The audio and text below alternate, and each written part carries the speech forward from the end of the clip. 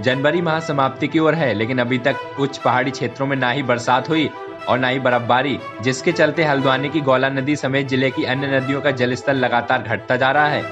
आने वाले ग्रीष्मकालीन सीज़न में पानी की किल्लत से हल्द्वानी शहर को जूझना पड़ सकता है।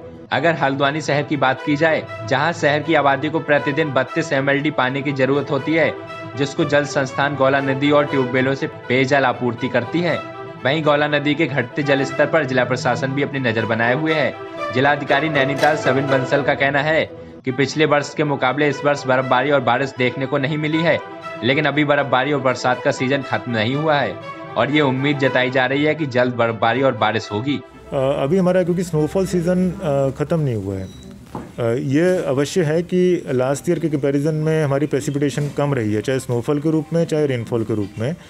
हमारा लेक लेवल्स जो रैशनिंग भी हम कर रहे हैं उसके बावजूद भी जो लेक लेवल्स अगर हम कंपेयर करें सेम मंथ्स का प्रीवियस ईयर में मतलब मीन्स आज जनवरी चल रहा है तो जनवरी 2020 से अगर हम कंपेयर करते हैं तो हमारे लेक लेवल्स कुछ हद तक डाउन हैं। गोला में आ, जो हमारी सप्लाई आ रही है कैचमेंट एरिया से उसमें हमें गोला में भी हो सकता है कि आगामी समर सीज़न में राशनिंग की ज़रूरत पड़े और टैंकर्स हमें अतिरिक्त रूप से लगाने पड़े, ट्यूबवेल्स को हमको टैप करना पड़े।